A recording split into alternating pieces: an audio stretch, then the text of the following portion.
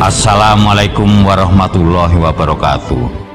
Ulun Wartono, Wakil Wali Kota Banjarbaru, menghimbau kepada seluruh masyarakat Kota Banjarbaru untuk senantiasa membuang sampah ke tempat pembuangan sementara atau TPS sesuai dengan aturan jam yang sudah ditetapkan berdasarkan Perda nomor 3 tahun 2016 yakni sejak pukul 6 sore hingga 6 pagi bagi masyarakat yang membuang sampah di luar dari jam yang sudah ditetapkan ini berarti telah melakukan tindakan yang bertentangan di mata hukum dan harus bersedia menerima sanksi atau hukuman sesuai dengan peraturan yang berlaku di kota Banjarbaru.